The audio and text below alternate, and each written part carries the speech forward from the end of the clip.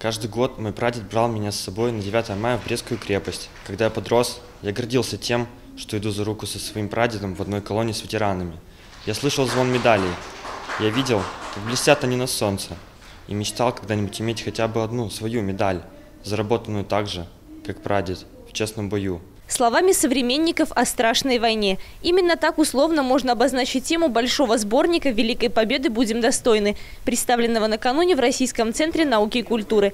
Его авторами стали школьники учреждения образования Брестской области, которые на протяжении февраля-мая 2015 года активно работали над созданием конкурсных эссе и интервью, открыток и рисунков. Из 476 творческих решений в новую летопись, летопись трагических сороковых глазами молодых людей 21 века вошло лишь 31, каждый из которых написано с особой любовью и трепетом к тем, кто подарил нам возможность жить под мирным небом. Работал недолго, за день, даже меньше. Э, писал о победе, о том, какое она имеет большое значение – для нас, для нашего будущего. Нашу школу посещает ветеран Великой Отечественной войны Кругликов Константин Максимович. Он ходит на все наши праздники, и его в нашей школе хорошо очень знают. И когда выпал шанс написать о этой работе, эту работу, я решила рассказать о нем. А, Кругликов Константин Максимович ушел на войну совсем рано. А, мы с ним встретились, и он дал мне интервью. Сборник разделен на несколько тематических блоков, отличающих творческие решения по формам написания и темам. Жанров два – заповедь и исповедь. Исповедь – это рассказы самих ветеранов о непростых буднях, о том, где закалялся характер и как проверялись на прочность дружба, как воспитывалась храбрость, мужество и стойкость. Заповедь – это наказ для нас, современников, что значит быть достойными великой победы и почему так важно сохранить мир и ценить все то, что рядом с нами. Если я не почитаю, так буду знать о Великой Отечественной войне. Людей будут знать. Нас не забывают, прежде всего. Вот. Во всех мероприятиях мы участвуем, нас с удовольствием приглашают, мы от, отвечаем на это все. Так что нормально все. Вы стоите на правильном пути.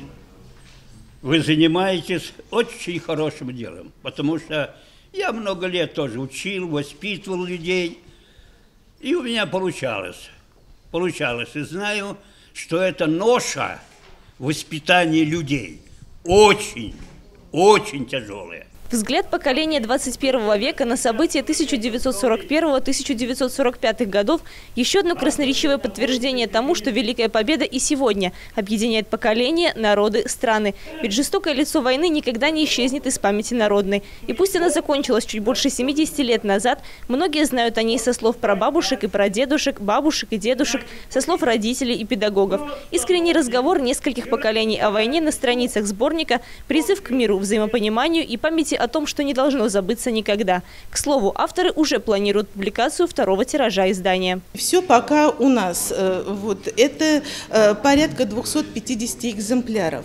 Э, кроме этого, мы готовим к изда... второе издание. Это будет зависеть от спроса на данный сборник. Будет все распространяться, во-первых, передается э, участникам, победителям, э, тем детям, чьи произведения вошли в этот сборник, э, их руководителям и в школы. Анастасия Ноздрин, Плотницкая, Дмитрий Хрущ, Дмитрий Лазарчук, телекомпания «Бук-ТВ».